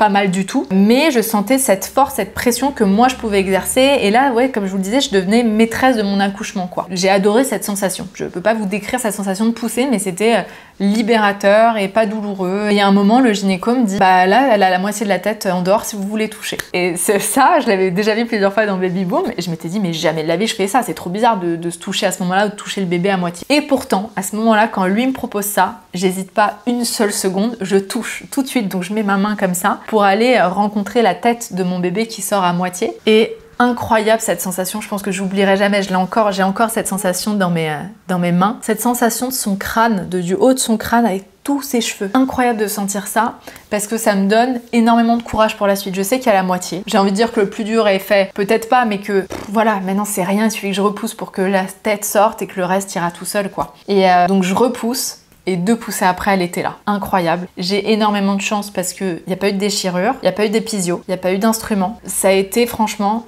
idyllique. Vraiment. Même le médecin, la sage-femme m'ont dit mais c'est incroyable pour un premier accouchement, euh, c'était vraiment super. Et Nolwenn m'a dit bah vous voyez tout ce que vous avez fait en amont en fait, tout ce que vous avez, euh, tout le travail qui s'est passé de façon physio, a duré comme ça pendant 12 heures à être debout, à faire du ballon, à me détendre, à faire de la respiration, même si ça n'a pas été efficace en fait pour l'ouverture du col en tant que tel, ça a été extrêmement efficace pour le après. Je pense que, que, ce travail physio, mine de rien, qui avait été mis en place, m'a vachement aidé pour la suite. Et donc là, euh, j'ai cette image de, de, ce bébé, j'ai vraiment l'image en fait. Cette, cette, image, elle me restera en tête très très longtemps à mon avis, pour toujours même. Je vois mes deux jambes dans les étriers et au milieu, donc ce bébé qui sort, qui est, euh, bah, qui est trempé, qui est plein de vernix, donc qui est cette matière, un petit peu cette matière blanchâtre sur le bébé. Je vois ma fille comme ça dans les bras du gynéco. Le temps s'arrête, je la vois, je la reconnais pas. Je la reconnais pas dans le sens, je me dis pas, oh, c'est un morceau de moi, c'est un morceau de mon mec, c'est notre mélange à tous les deux. Pas du tout. Je vois ce petit être qui sort, ce petit être inconnu, ce petit être euh, qui est une personne à part entière en fait, qui n'est pas un morceau de moi, qui ne m'appartient pas. Je viens de mettre au monde un petit être unique qui a sa propre vie, qui a sa propre personnalité. Et donc il me le met tout de suite sur, euh, sur, donc sur la peau, pour, pour le pot à peau. Je coupe le cordon, ça en avait parlé avec mon mec, parce qu'il y a quelques années j'avais lu un livre d'une sage-femme que j'avais adoré. Et elle disait qu'effectivement ça pouvait être, euh, mine de rien, assez violent que ce soit le papa qui coupe le cordon alors que le cordon c'est ce qui relie la maman et le bébé en fait pourquoi c'est au père à ce moment là de décider quand couper le cordon? C'est peut-être à la maman de se dire bah là je le coupe moi-même je, je décide consciemment de couper ce lien-là qui nous relie en tout cas, qui nous reliait jusqu'à maintenant, parce qu'il y a un lien après évidemment. Et donc je m'étais toujours dit, bah voilà, si un jour j'accouche, moi j'aimerais que ça soit moi qui coupe le cordon. Et ça allait très bien à mon mec parce que lui il avait un truc avec la matière du cordon, je sais pas, ça le dégoûtait, on va savoir pourquoi. J'ai ma fille comme ça en peau à peau, fait sa première tétée, c'est super bien passé de suite. Qu'est-ce que j'ai ressenti à ce moment-là? Comme je vous le disais, je, pense que j'étais, euh, c'était plus une, sensation de choc, pas dans un mauvais sens, j'étais pas choquée genre euh, de, façon euh, négative, c'était genre, t'es un peu ahuri quoi, après un accouchement, après cette vague d'émotions, après ce truc, mon mec pleurait à côté, mais moi j'étais, j'étais sous le choc, j'étais, je pense, sous le choc de l'effort, sous le choc de, de, autant de travail, d'avoir ce bébé qui est enfin sur moi, de, de ce cocktail d'hormones, à mon avis, qui est généré. Et je me souviens que j'étais hyper frustrée de ne pas la voir parce que comme j'étais à moitié allongée, qu'elle était sur moi, je la voyais d'en haut, mais je la voyais pas bien. Donc je disais à mon mec, mais prends des photos que je puisse la voir parce qu'elle était en train de téter. Donc je la voyais, je voyais que son petit nez. En plus, elle avait un petit bonnet comme ça. Je voyais presque rien. Par contre, la première sensation, et ça, c'est un truc qu'elle continue et que j'adore, je me souviens de sa petite main contre ma peau qui me faisait des caresses. J'adore cette sensation, elle continue, je vous le dis encore maintenant. Je suis trop fan. J'ai pas ressenti ce coup de foudre où je ressens cet amour qui monte, mais je ressens une évidence en fait. C'est là. Et du coup, c'est tellement là que je le ressens pas. C'est très étrange en fait. Je pense qu'il y avait un amour très très fort là, mais il y avait encore les nuages du choc, de la fatigue, peut-être des inquiétudes, de ouais, ça y est, je suis en train de devenir maman. Du coup, il y avait tous ces petits nuages qui faisaient que cet amour, je l'ai pas ressenti, mais je ressentais quand même une sorte d'évidence, même tout de suite dans mes bras. Alors je suis pas du tout habituée au bébé, il faut savoir que j'ai pas fait beaucoup de babysitting, j'avais pas plein de bébés dans mon entourage non plus. C'était naturel en fait les mouvements que j'ai eu avec elle, c'était naturel cette connexion qu'il y a eu nous deux, mais c'était pas cette bouffée d'amour qu'on peut entendre de temps en temps. Maintenant ces bouffées d'amour, je les ai à fond. Je sais pas si c'est parce que l'amour est grandissant ou parce que les petits nuages se sont dispersés et que maintenant on se connaît bien et qu'il n'y a plus les inquiétudes du début, qu'il n'y a plus les doutes, tout ça, et que le, ciel s'est éclairci, donc je suis plus apte à ressentir ça, je sais pas. Et donc on reste deux heures comme ça dans la salle euh, avec mon bébé euh, sur, sur le buste, elle tête, elle tête très bien dès le début, c'est top. Euh, la sensation est assez intense parce que c'est vrai qu'un bébé qui vient naître, ça, ça a une force au niveau de la langue, de la succion, c'est impressionnant. Donc c'est un petit peu c'est pas douloureux, mais on va dire que on sent qu'il y a une pression. Et on reste comme ça, euh, bah, tous les trois dans la salle pendant deux heures. Au bout de deux heures, il y a une, pédiatre qui vient pour vérifier que tout va bien. Tout va bien. Euh, j'avais bien dit, je voulais pas qu'elle soit euh, nettoyée à ce moment-là. Je voulais que les soins soient le plus tard possible pour qu'on puisse avoir nos deux heures comme ça de peau à peau et qu'on puisse se retrouver tous les trois dans notre cocon. Ça a été hyper bien respecté. C'est passé extrêmement vite. Là, je vous dis deux heures, mais j'ai l'impression d'être restée un quart d'heure en fait après l'accouchement. Ouais, franchement, accouchement de rêve, ça a été très très long, comme je vous le disais, puisque mon accouchement en tout a duré 23 euh, heures, je crois. Incroyable, super accouchement. Et franchement, si euh, j'hésiterais pas une seconde, une seconde à le revivre. Ouais, magnifique. Et je vais m'arrêter là, et comme ça, on va passer au postpartum après. Bon, je me suis mise dans la chambre de ma fille pour terminer cette vidéo pour vous parler du postpartum. Alors, le postpartum, c'est quelque chose dont j'avais assez peur parce que c'est un peu la vision maintenant qu'on a sur les réseaux sociaux, c'est que c'est un moment extrêmement, extrêmement compliqué. Déjà physiquement, mais aussi moralement. Alors, euh, moi, avec cette vidéo, je vais vous donner une vision un peu différente parce que mon postpartum a été vraiment alors j'allais dire idyllique, peut-être pas, mais il a vraiment été doux. Tout s'est très très bien passé. Donc je trouve ça aussi important de donner cette vision-là et de dire que tout ne se passe pas forcément euh, hyper mal. Alors le postpartum, il faut aussi le définir parce qu'il y a certaines personnes qui vont parler des six semaines après l'accouchement, il y en a qui vont dire que ça dure trois mois, d'autres six mois, d'autres trois ans. Donc moi je vais vous parler, euh, vu que ça ne fait que deux mois et demi au moment où je tourne cette vidéo, je vais vous parler de ce postpartum-là. J'ai pas encore assez de recul sur la suite, mais de façon euh, vraiment générale, ça s'est super bien passé, même s'il y a eu de la fatigue, même si évidemment qu'il y a des doutes, qu'il y a des inquiétudes, que parfois il y a des pleurs, euh, des pleurs de la maman, des pleurs du bébé c'est sûr, des incompréhensions, tout ça évidemment, mais je ne l'ai pas du tout vécu comme je pensais que j'allais le vivre. Alors déjà, je vais vous parler du physique, de ce qui se passe physiquement dans le corps. Oui, on perd du sang après avoir accouché, c'est normal, c'est logique, on perd pas mal de sang 24 heures à peu près après avoir accouché. Donc généralement dans les maternités, dans les hôpitaux, tout ça, ils donnent des grosses serviettes. Euh, effectivement, on les met avec une sorte de slip filet, on voit beaucoup ça sur les réseaux sociaux, on se dit mais mon dieu ça a l'air d'être horrible, on dirait une couche culotte et tout. Oui, effectivement, mais c'est pour maintenir en fait cette serviette là et c'est pas désagréable à porter et au contraire c'est même plutôt euh, agréable parce qu'on on se sent pas du tout serré dedans. Donc oui, on perd du sang pendant 24 heures de façon assez conséquente, mais si tout se passe bien, la quantité vraiment diminue et après ça peut durer 3 semaines. Moi ça a duré un bon 3 semaines effectivement mais c'était des toutes petites règles et c'est du sang qui ne fait pas mal.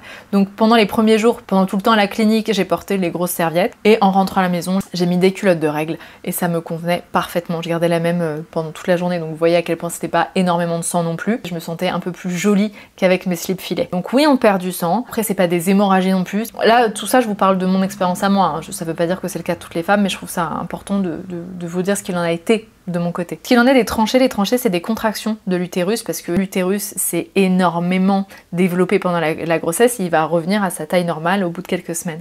Donc il faut bien qu'il se recontracte. Ces tranchées là ça peut faire mal, comme de nouveau des contractions, comme de nouveau des douleurs de règles. Moi ce n'a pas été le cas, pourtant j'ai allaité donc l'allaitement favorise les contractions de l'utérus. Oui j'ai senti que ça travaillait, oui j'ai senti des petites douleurs dans le ventre, mais ça n'a pas du tout été euh, terrible en fait. Vraiment c'était des mini mini douleurs de règles. Alors ça c'est parce qu'apparemment c'est un premier enfant ça peut être un petit peu plus important, un peu plus intense euh, quand on a eu plusieurs enfants.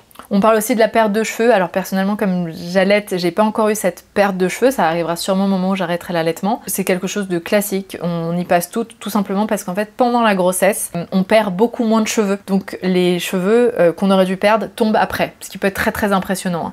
Et il faut pas hésiter à faire une cure. Moi, je pense que je vais pas tarder à reprendre Siletum, qui est une super cure pour les cheveux et que je peux prendre en allaitant. À mon avis, je vais aller à la pharmacie là après avoir terminé cette vidéo et je vais me prendre ça. On parle aussi donc des douleurs de l'allaitement. Ça, je vais vous en parler un petit peu plus après, l'allaitement le poids, le ventre vide, alors effectivement le ventre mou, ça on y passe toutes. Forcément, vous imaginez qu'on passe d'un gros gros ventre. Moi j'ai un ventre qui faisait euh, plus d'un mètre de diamètre, j'avais un très très gros ventre à la fin, à plus rien dedans, enfin plus rien, quand même un, utérus hein, qui, qui garde une taille assez importante après. Oui, on a un ventre mou, vide et un peu gros. C'est assez bizarre même au début, mais je vous assure que sur le moment, en fait, vous venez d'accoucher, vous venez d'avoir votre bébé, vous n'en avez rien à faire, en fait. Oui, c'est pas très joli, je vais pas vous dire que vous allez vous trouver belle dans le miroir, mais vous n'en aurez rien à faire. C'est en tout cas moi ce que j'ai ressenti. Donc en fait, c'est drôle parce que oui, j'ai eu ces symptômes dont tout le monde parle du postpartum, mais je les ai pas du tout, du tout vécus de la façon où je pensais que j'allais les vivre. C'est ça qui est intéressant parce que, même dans la maternité, dans la grossesse, tout ça, on peut vous prévenir, on peut vous dire voilà comment ça va se passer, voilà ce qui va se passer, parce que oui, il y a des trucs qui vont se passer, on y passe toutes, mais en fait, on ne peut pas prévoir comment on vivra ça oui, effectivement, on a un gros ventre, peut-être qu'on retrouve pas son poids tout de suite. Et encore, enfin, moi j'ai eu la chance de pas prendre beaucoup de poids pendant ma grossesse. Je me suis pesée une semaine après avoir accouché, j'avais perdu 10 kilos. Je sais pas si vous vous rendez compte. Et pourtant, j'ai pas du tout, du tout fait attention à ce que je mangeais à la clinique, à l'hôpital, ni quoi que ce soit. Hein. Au contraire, je pense que j'ai beaucoup plus mangé là-bas que ce que je mangeais avant. Mais il y a 10 kilos qui perdent d'eau, de placenta, de bébé. Parce que ma fille faisait quand même 3 kg 6, je vous l'ai pas dit, 3 kg 6, 53 cm. Il y a la rétention d'eau, enfin bref, il y a plein de choses. Donc, moins 10 kilos. Donc, c'est vrai que, effectivement, je reconnaissais pas ce corps. J'avais pas exactement le même corps qu'avant, mais euh, j'ai pas mal vécu ce changement-là même si j'avais plus mon bébé dans mon ventre. Et je voyais que de jour en jour, le ventre se réduisait. Et ça, c'est notamment dû à l'allaitement. Je sais que l'allaitement favorise justement la rétractation de l'utérus et donc le fait de retrouver un ventre un petit peu plus plat. Donc, je vais pas vous mentir, voilà, en vous disant je me suis trouvée belle après, mais je n'en avais rien à faire. Mon focus était sur autre chose. Je me voyais avec mon gros ventre, mais ça me faisait rien, c'était pas grave. Ça, c'est un peu les, symptômes classiques. Alors après, on parle aussi de cet amour, donc euh, pour son bébé qu'on peut ne pas ressentir. Donc comme moi je vous l'ai dit, j'ai pas ressenti ce coup de foudre mais j'ai ressenti une évidence. Ça a été évident le après. C'est comme si elle avait toujours été là. En fait, il y a toutes les questions, tous les doutes, tout ce que j'avais pu projeter, tout s'est envolé. J'étais dans le moment présent et je m'occupais de mon bébé. Et comme je vous le disais, j'ai quand même continué à ressentir et je, continue à ressentir que ce bébé, ma fille, que j'appelle ma fille, ne m'appartient pas en fait. Je sens vraiment que c'est un petit être à part entière. Et donc j'ai cet amour, mais cet amour très respectueux pour elle. C'est pas cet amour d'appartenance. C'est très compliqué à exprimer, c'est très compliqué à expliquer. Et je pense qu'en fait l'amour qu'une maman peut ressentir pour son bébé et qu'un papa aussi peut ressentir pour son bébé n'est pas explicable et c'est pas un amour qu'on peut ressentir ailleurs. C'est très intense, mais c'est pas du tout le même amour qu'on peut ressentir pour son conjoint, pour son ou sa partenaire, pour des membres de sa famille. C'est beaucoup plus profond, mais ça s'explique pas. Ça, ouais, ça s'explique pas. Chez moi, en tout cas, ça a été une sorte d'évidence. Alors, on va parler de l'allaitement parce que moi, c'est quelque chose qui a été assez naturel. En fait, j'ai même pas vraiment réfléchi au sujet. Pour moi, c'était évident que j'allais allaiter. Peut-être parce que euh, ma maman m'a allaité, parce que j'ai vu autour de moi des personnes qui allaitaient. Donc, pour moi, c'était assez normal, quoi, assez euh, assez évident. Je vous conseille, même si c'est évident pour vous, de vous renseigner avant parce que Bien que ce soit un processus très très naturel, l'allaitement, il y a des choses à savoir et c'est pas forcément euh, intuitif. En fait, je pense peut-être que ça l'était à une autre époque, mais que c'est en tout cas que l'allaitement n'est pas forcément adapté à notre époque actuelle, à notre société actuelle. Donc c'est bien de se renseigner parce qu'il y a des choses à savoir, il y a des positions à connaître, il y a des, des remèdes à connaître pour soigner les bobos du tout début. Et c'est normal de rencontrer des, difficultés dans, dans l'allaitement, dans la mise en place de l'allaitement. Et c'est bien du coup d'être un peu prévenu de ça. Après, moi j'avais lu quand même un, un livre qui s'appelle Le Petit Manuel illustré de l'allaitement, qui est génial, que je vous recommande. Lisez-le une première fois, une ou deux fois avant d'accoucher,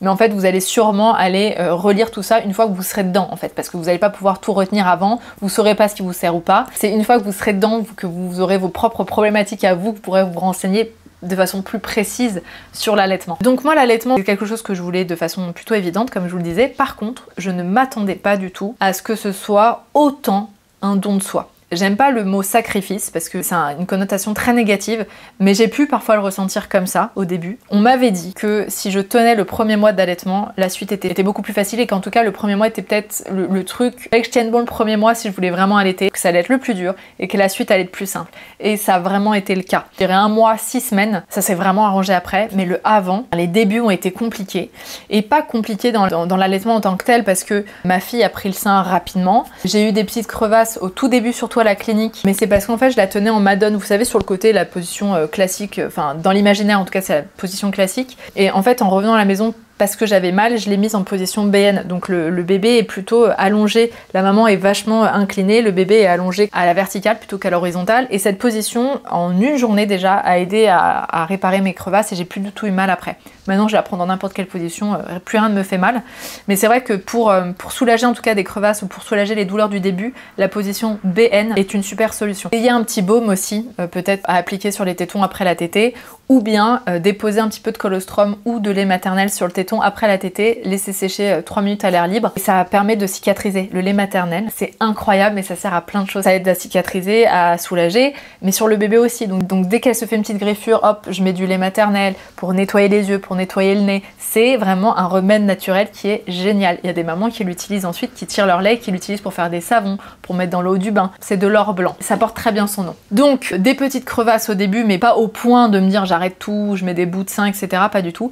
Par contre, moi, ce qui m'a vachement aidé, et c'est Ilia qui me les avait envoyés, c'est des coquillages en fait, des coquillages d'allaitement parce qu'au début c'est vrai que c'est hyper sensible en fait, c'est pas une zone qui est habituée à être autant sollicitée toute la journée. Et donc les coquillages d'allaitement, ça permet de, protéger des frottements en fait des vêtements. Donc pas énormément de douleur et de toute façon, je tiens à le dire, quand vous allez accoucher à la maternité, à la clinique, qu'importe, vous allez être accompagné en fait de toute une équipe soignante. Donc n'hésitez pas surtout à les solliciter, à les sursolliciter pour poser toutes les questions que vous avez à poser. Moi ça a été, pardon, je commence à avoir euh, la lumière qui passe devant. Moi, ça a été mon erreur en fait. J'ai pas osé demander, j'ai pas osé solliciter, je voulais tout me débrouiller toute seule. Mais c'est débile parce que du coup, en rentrant à la maison, j'avais plein de questions qui sont restées sans réponse. Et je suis sûre que, certaines choses auraient été bien plus faciles si j'avais osé demander de l'aide. De l'aide aux soignants, évidemment, mais à votre entourage aussi. N'hésitez pas à poser des questions à, vos mamans si elles ont allaité, à vos amis si elles ont allaité, à, partager vos doutes, vos questionnements parce qu'on est toutes passées par là. Et euh, si j'ai vraiment ressenti une sorte de sororité, c'est pendant la grossesse et pendant le début de la maternité, pendant la maternité tout court d'ailleurs.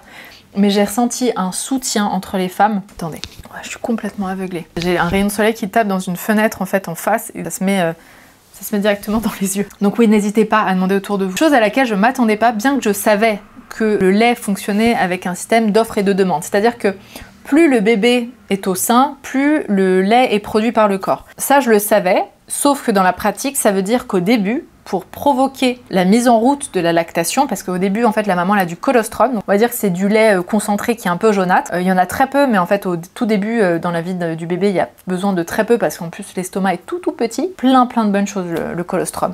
D'ailleurs, si vous pouvez en tirer, vous en extraire un petit peu les jours avant d'accoucher, c'est idéal. Moi, j'en avais congelé un petit peu parce que si à un moment le bébé n'a pas assez mangé, ou s'il est malade, ou si vous pouvez pas allaiter, au moins vous avez un peu de colostrum congelé. Voilà, c'est un petit conseil. Et moi, je le faisais à la main. J'avais pas appris un tire-lait et tout. Je vous épargne les détails, mais il y a plein de super vidéos euh, ou de renseignements sur internet pour ça. Donc, pour passer justement du colostrum au lait, le bébé doit rester au sein et tirer énormément, énormément, énormément de temps. Salut Tima Et, ça, je m'attendais pas. Sur 24 heures, je pense que j'avais ma fille au sein à 20 heures. Vraiment, sans rigoler. Et ça a été hyper compliqué au niveau de la fatigue parce que, euh, chose toute bête aussi, alors on, nous dit oui, oui, repose-toi avant l'accouchement parce qu'il y a l'accouchement et après il y a le bébé. Mais je sais pas si on conscientise le fait qu'en fait on va passer de l'accouchement à tout de suite les nuits blanches. Vous voyez C'est pas genre euh, il y a l'accouchement, tu te reposes et ensuite il y a les nuits blanches. Moi, je, sortais de, de 23 heures d'accouchement avec euh, une énorme nuit blanche entre temps. Je remonte dans la chambre à 23 heures. Là, on enchaîne une nuit avec un bébé en fait. Donc il n'y a aucun repos. Et en fait, au début, on, on s'était dit avec mon amoureux qu'il allait rester tous les jours à la clinique avec moi parce qu'il y avait possibilité pour le papa de rester et de dormir dans la chambre avec la maman. Sauf qu'en fait, une fois qu'on a vécu la première nuit, on s'est rendu compte que ça ne servait à rien que le papa soit là parce que déjà pendant l'allaitement il peut pas faire grand chose. Le bébé il se réveille beaucoup et il boit beaucoup et donc il y a que la maman qui sert à quelque chose à ce moment-là, sauf que le papa est réveillé par les pleurs du bébé. Et finalement, on est deux à être complètement HS le lendemain. Donc aucun intérêt. On a fait une nuit comme ça et le reste du temps, il rentrait se reposer la nuit et il revenait le matin très tôt pour qu'on fasse une sorte de roulement. C'est-à-dire que la journée, bon toute la nuit généralement elle tétait, donc je faisais des nuits blanches où je m'endormais avec elle dans les bras, chose à ne pas faire parce que ça peut être très dangereux.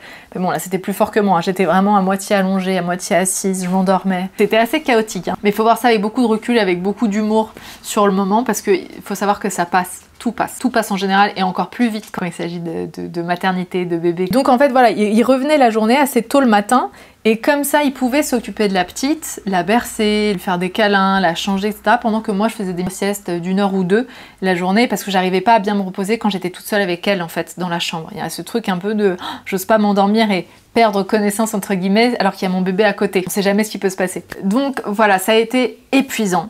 Et j'ai un peu mal vécu l'allaitement parce qu'en fait, c'est vrai que bah, au début, un, bébé, ça tête énormément. Mais genre énormément. Et pendant les six premières semaines, ma fille, elle buvait euh, bah, toutes les heures et demie, toutes les deux heures. Donc je sais pas si vous imaginez à quoi ressemble une journée, mais à chaque fois, chaque tétée durait quand même une demi-heure. Maintenant, c'est beaucoup plus efficace, elle va beaucoup plus rapidement, elle espace un petit peu les tétées, donc c'est différent, tout évolue, mais au début, c'était ça. Et en fait, je m'étais pas préparée à ça. Je pensais pas que c'était comme ça. Je pensais pas qu'elle allait autant avoir besoin de moi, je pensais pas que ça allait autant me solliciter. Il n'y avait pas le choix, j'étais la seule à pouvoir faire ça, à pouvoir allaiter, quoi. Le papa ne peut rien faire à ce moment-là. Alors, mon mec a été hyper présent pour tout le reste, et franchement, il faut que le papa soit présent, ou le, la partenaire, hein, qu'importe il faut absolument du soutien et de la présence pour le reste parce que il faut pas croire que le papa se sent forcément mis de côté parce qu'il n'y a pas que allaiter un bébé, il y a beaucoup de moments où on a le bébé dans nos bras pour le rassurer, pour calmer les pleurs peut-être de mal au ventre, de décharge, pour changer le bébé, pour faire l'euro.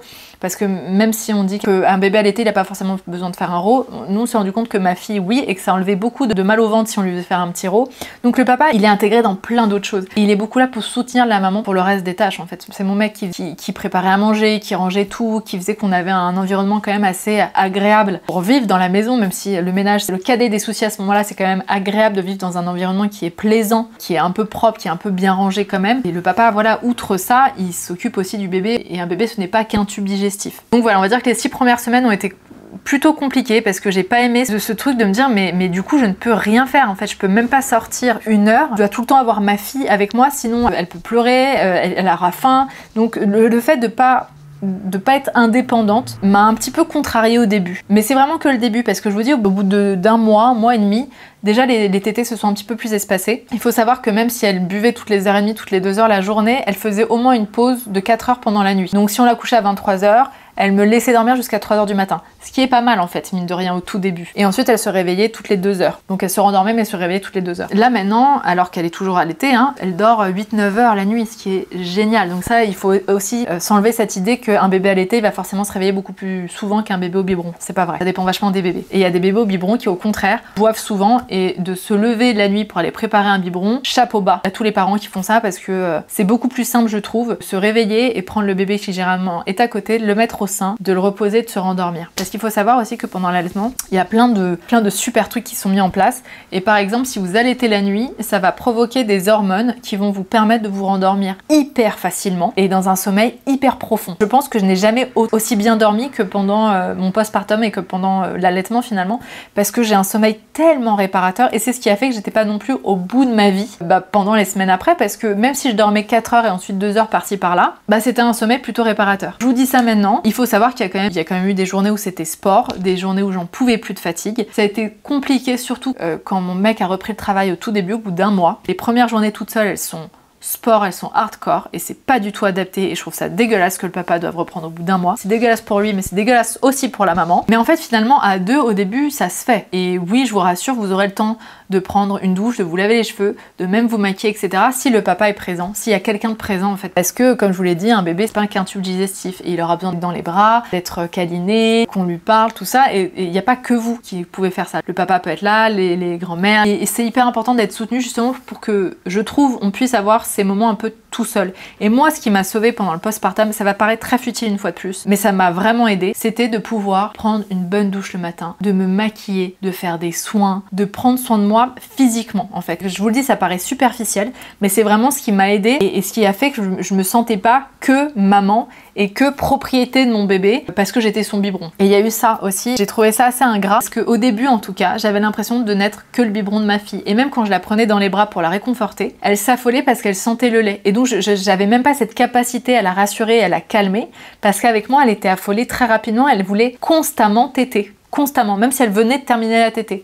Et donc c'était assez frustrant d'avoir l'impression d'être une tétine ambulante ou d'être un biberon. D'ailleurs en parlant de ça, on a finalement craqué pour la tétine et ça a été une révélation parce qu'un bébé ça ne tète pas que pour boire, que pour manger, ça tète aussi pour se rassurer le plaisir de la succion. Et donc, soit vous êtes très courageuse et vous acceptez d'être une tétine pour votre bébé, et je dis pas ça dans, le mauvais sens, hein, c'est d'être d'être là pour le rassurer aussi via la succion. Mais moi, vraiment, ça a joué tellement sur mon moral qu'elle passe ses journées à être sur moi et à téter. J'en pouvais plus donc on a craqué. Parce que c'était soit ça soit le petit doigt vous savez de mon copain. Sauf que bah, c'est pareil en fait. On est un peu euh, contraint et forcé de ne rien faire d'autre euh, que de donner le sein ou de donner le doigt à ce moment là et on n'est pas très indépendant à ce moment là. Bref du coup la tétine a été une révélation. Sincèrement. Et elle est pas du tout accro. Au contraire elle est en train de chercher son pouce. Donc à mon avis elle va hop ça va aller vers le pouce après.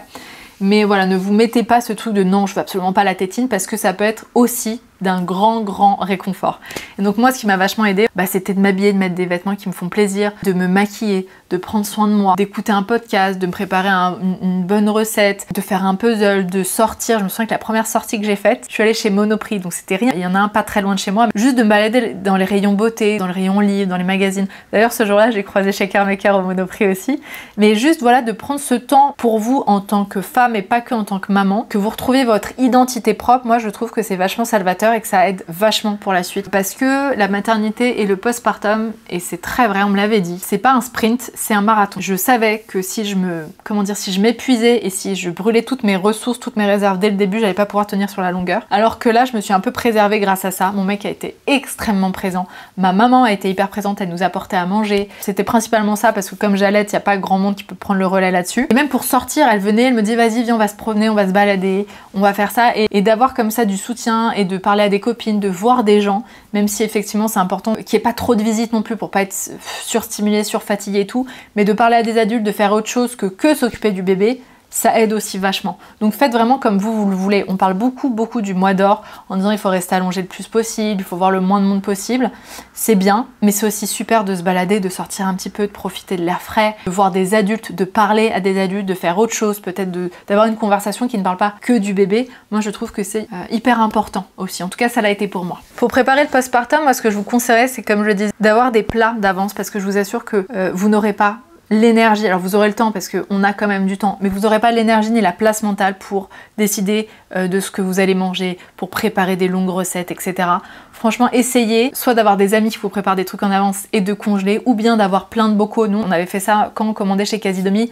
On commandait beaucoup de, vous savez, des, bocaux Karine et Jeff pour avoir des trucs à réchauffer, mais des trucs sains quand même, parce que c'est hyper important, comme je disais, pour aider le corps à se régénérer. C'est quand même pas rien. Il y a un corps qui a produit, qui a créé un petit être, un autre être humain pendant 9 mois. Il y a eu l'accouchement, il y a quand même des pertes de sang, il y a de la fatigue, tout ça. Donc c'est hyper important quand même de supporter le corps et de l'aider à se régénérer avec une alimentation qui est Pour ça, je vous conseille, mais mille fois, le livre de Julia, Julia Simon, qui s'appelle Le quatrième trimestre naturel. C'est une mine d'or ce livre et il y a des recettes à la fin et elle explique un peu voilà tout ce qu'il faut préconiser. Donc moi, je me faisais pas mal de porridge le matin parce que c'était chaud, c'était réconfortant. Je mettais de la cannelle dedans. C'est un repas que j'adore, voilà, qui est réconfortant et en même temps qui se prépare hyper facilement. Donc oui, une alimentation qui vous fait plaisir mais en même temps qui est saine. On évite aussi les crudités, les fruits, tout ça parce que le système digestif est pas du tout... Tout est un peu en désordre à ce moment-là parce que tout se remet en place. Donc pour éviter justement les ballonnements, tout ça, peut-être éviter au maximum les crudités et plutôt aller vers des plats, euh, des plats chauds et des plats euh, cuits. Pour ce qui est du baby clash, on parle souvent de ça quand on parle du couple. Alors j'imagine que dans certains couples, effectivement, il y a des clashs, peut-être des incompréhensions, des trucs et, et c'est normal en fait. Mais je dirais que c'est pas tant le couple le problème ni le bébé, c'est la fatigue qui fait tout. La fatigue. En tout cas, nous, quand il y avait, il n'y a pas eu de baby clash, mais il y a eu des petites tensions de temps en temps.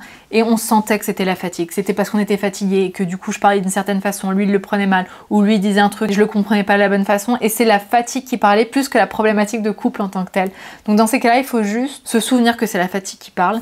Et je pense qu'il faut être vachement dans la communication. Ou parfois au contraire se dire bon écoute là on se parle pas trop, c'est pas grave, on est juste fatigué, on a juste besoin de se reposer. Et on n'est pas obligé d'avoir des grandes conversations maintenant, ça va passer. Je fais une petite pause dans le montage parce que je me rends compte que j'ai pas abordé un point et euh, j'aurais bien voulu être prévenue parce qu'on n'en parlait pas. Comme je vous l'expliquais, j'ai pas eu de points, j'ai pas eu de déchirure ni d'épisiotomie pendant l'accouchement, ce qui est hyper hyper agréable parce que du coup j'ai pas eu euh, spécialement mal au niveau de la zone intime après. Par contre, j'ai eu des petites déraillures, c'est des sortes euh, d'écorchures en fait, qui sont hyper hyper sensibles, surtout quand on va faire pipi. Donc ce que je peux vous conseiller si vous avez ça, c'est d'avoir une bouteille d'eau à côté de vous, à côté de, des toilettes en fait, et qu'à chaque fois vous alliez faire pipi, de verser en même temps de l'eau pour éviter que l'urine qui est acide en fait vienne brûler cette zone-là. Ou bien ce que la sage-femme m'a dit après, c'est qu'on peut appliquer de l'huile parce que ça protège les petites déraillures. Voilà. Et ce que j'ai eu bizarrement, pas tout de suite après, mais je dirais une bonne semaine après l'accouchement, même 10 jours, j'ai ressenti comme un hématome au niveau de cette zone, donc ça me faisait euh, un peu mal quand je m'asseyais. C'était très étrange que ça arrive autant après, mais en même temps c'est pas euh, illogique vu l'effort euh, qui est produit par le périnée, n'est-ce pas?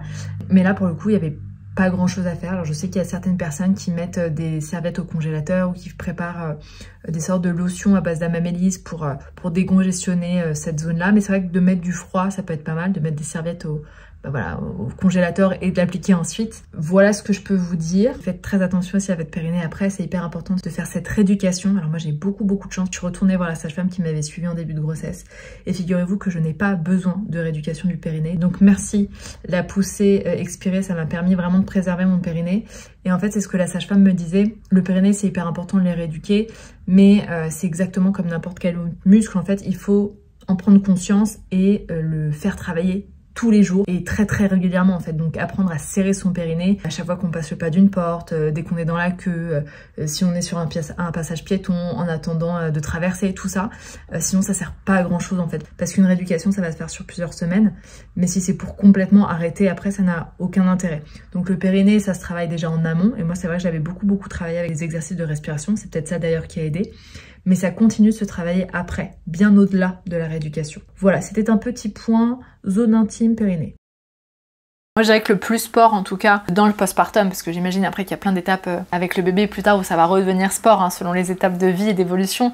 Mais le premier mois, il est difficile. Et en même temps, ça passe super vite. Et je vous dis qu'il est sport, mais il y a aussi des moments incroyables et merveilleux. Et c'est vraiment ce que j'essaie de vous faire passer à travers cette vidéo. Pas, dans le but de rassurer, parce que du coup, mon discours serait biaisé si j'étais là pour vous rassurer. Mais je veux vous montrer que c'est pas si catastrophique que ça et que même si c'est difficile, il n'y a pas que des difficultés, il y a énormément de bons. Et alors, un truc de dingue, pourtant j'en suis qu'à deux mois et demi hein, de postpartum, j'ai déjà complètement oublié le début. C'est pas que les mamans vous mentent, hein, c'est qu'on oublie complètement les difficultés du début. J'ai noté en fait dans des carnets, c'est comme ça que je m'en souviens, mais j'ai l'impression que euh, c'était un rêve en fait, c'était même pas réel, tellement tout évolue de jour en jour. Nous, notre fille, elle, faisait 4 heures de suite et du jour au lendemain, on sait pas pourquoi, elle a fait 9 heures aucune idée de pourquoi. Pourquoi d'un coup euh, ses pleurs se calment? Pourquoi d'un coup euh, son système digestif devient plus mature, donc il y a moins de maux de ventre et donc ça va beaucoup mieux. Et en fait, il y a tout qui change comme ça du jour au lendemain et on oublie les difficultés. Ça passe super vite et il y a tous les à côté et tous les moments merveilleux qu'il y a avec le bébé, avec son amoureux, les moments en famille, les moments de découverte, d'émerveillement, les moments où on regarde son bébé en se disant mais c'est incroyable comment j'ai pu créer ça et, comment elle est belle, etc. Parce que qu'est-ce qu'on s'émerveille devant son bébé? Je suis pas sûre qu'on soit très objectif. Moi je vous dis objectivement ma fille est merveilleuse elle est magnifique. pas objectif du tout, mais quand même. Donc il y a tout ça, oui c'est sport, mais ça passe, ça passe et, vous vous en souviendrez même plus. Et en fait ce que je veux vous dire c'est que ça paraît limite parfois plus difficile de l'extérieur parce que quand on est dans, la situation extérieure, on n'a pas la force nécessaire sur le moment. Alors que quand on est dans la difficulté, ben on est en pilote automatique. Et il y a un truc où on se pose même pas la question, donc il y a une force qui est puisée à ce moment-là qui fait qu'on le vit pas de la même manière que de l'extérieur ou qu'après, vous voyez? Je dirais ne, ne vous en faites pas en fait, même si c'est difficile parce que moi j'ai un postpartum qui est facile, ce sera peut-être pas votre cas, mais même si c'est pas le cas, quand vous serez dedans, je vous assure que vous serez plus forte que vous ne le pensez. Voilà, c'est ça, c'est ça ce que j'aimerais faire passer parce que ça, j'en suis persuadée. Maintenant, ça fait deux mois et demi et j'ai l'impression que tout est, euh, rodé en fait.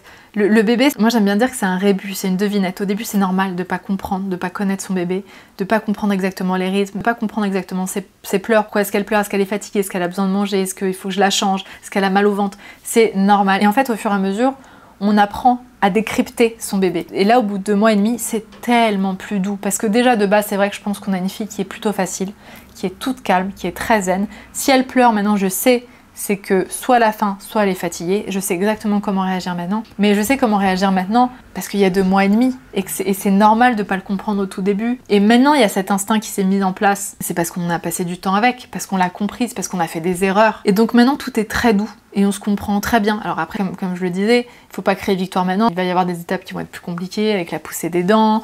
Euh, ce sera sûrement plus sport au moment où elle commencera à ramper, à marcher, à toucher tout, à attraper tout. C'est évident. Je vais pas créer victoire en disant c'est bon, j'ai tout compris à la maternité. C'est facile, easy, tout ça, pas du tout. Mais là, j'ai vraiment l'impression de euh, ouais, tout se passe bien tout va très bien en fait. Je reprends un peu à peu le travail, je suis à mon rythme, je profite d'elle, j'adore passer des moments avec elle et elle dort bien et elle a plus de maux de ventre. D'ailleurs pour ça, calmosine, incroyable pour calmer les coliques, pour calmer les maux de ventre du début, ça a été génial. C'est une sorte de petit, euh, petit sirop à boire à base de fenouil et de tilleul et ça fait beaucoup de bien au bébé. Ça, ça nous a sauvés. Et donc ouais là franchement, je vous fais cette vidéo dans un cadre qui est très serein. Après ça veut pas dire que ça le sera tout le temps. Je pense que la maternité c'est comme tout, il y a des hauts, des bas, euh, des moments beaucoup plus faciles que d'autres, mais, mais je trouve ça merveilleux. Moi qui avait beaucoup beaucoup de doutes pendant mon premier trimestre, j'avais peur, voilà, c'était un bébé surprise, je savais pas comment j'allais réagir, je savais pas si j'allais être une bonne maman, je savais pas si j'allais aimer mon bébé. Mais en fait, ces doutes, ils existent même plus. Alors c'est peut-être bien de les avoir eu en début de, en début de grossesse, je sais pas. Peut-être parce que ça m'a fait évoluer d'une certaine façon, ça m'a fait réfléchir, ça m'a fait parler avec mon amoureux. Et c'est tellement naturel en fait finalement. Je vous dis ça, c'est tellement naturel et en même temps, euh, je sens que j'ai aussi besoin de reprendre mon identité propre et de pas être seulement maman. Ça m'a fait trop du bien. La dernière fois, je suis sortie euh, juste avec mes copines déjeuner ailleurs. C'est ma maman qui s'occupait de ma fille à ce moment-là. Maintenant, je peux tirer du lait, c'est un petit peu plus facile. Elle prend des biberons de temps en temps. Pareil, la dernière fois, je suis allée, je suis allée travailler au bureau. Je commence à m'extraire un peu d'être je suis pas tout le temps collée avec elle, même si j'arrive pas à me détacher encore pendant plus de quelques heures. Je reprends peu à peu mon, identité et moi qui avais tant peur que mon identité change, de plus me reconnaître, de plus être la même, j'ai pas cette sensation. Ça veut pas dire que j'ai pas changé, hein, parce que je pense que quand on change vraiment, en fait on peut pas s'en rendre compte parce que comme on a changé, on se rend pas forcément compte, vous voyez. Non, je suis pas la même qu'avant, je suis maman en plus, mais j'ai pas ce changement identitaire où je suis plus du tout la même, on me reconnaît plus ou ouais, j'ai pas cette sensation en tout cas. Je vais m'arrêter là, sinon ça va être une vidéo beaucoup trop longue, mais euh, je pense vraiment à faire une sorte de de e-book ou de petits programmes gratuits justement sur tous mes conseils, mes recommandations sur la grossesse, sur l'accouchement, sur le postpartum, tout ce qui moi m'a aidé comme info, comme ressources, comme vidéo, comme podcast, tout ça. Je rassemblerai tout ça dans un seul et même endroit. Euh, si ce programme, si ce e-book est déjà créé au moment où vous regardez cette vidéo, ça sera en barre d'infos. Si c'est pas le cas, je vous conseille de vous inscrire à ma newsletter comme ça vous serez au courant quand ça sortira. On voit qu'un mail par mois. Ça me tient vraiment à cœur d'aider les futures mamans parce que je trouve que c'est un moment où on a besoin de vachement de soutien et comme je vous le disais, c'est un moment où où on ressent énormément de sororité. En tout cas, c'est ce que moi j'ai ressenti et j'aimerais être là aussi pour les autres. Donc voilà, n'hésitez pas à vous inscrire à la newsletter si vous voulez être tenu au courant de ça et si vous voulez accéder à ce e-book ou bien me suivre sur Instagram, sur les réseaux sociaux, tout ça. J'en parlerai aussi sur ces plateformes-là. Et voilà, je m'arrête là. La leçon de tout ça, ce serait qu'un accouchement, un postpartum, j'allais dire ça se prépare pas. On peut se renseigner, on peut s'attendre à, mais il faut savoir que rien ne se passera exactement comme prévu. Et même si ça se passe comme prévu, sur le moment, vous ne le vivrez sûrement pas comme vous pensiez que vous alliez le vivre. Voilà, ça c'est une très très bonne leçon, mais pour tout d'ailleurs. Ça, ça marche pour l'accouchement, pour la maternité, mais pour tous les domaines de vie.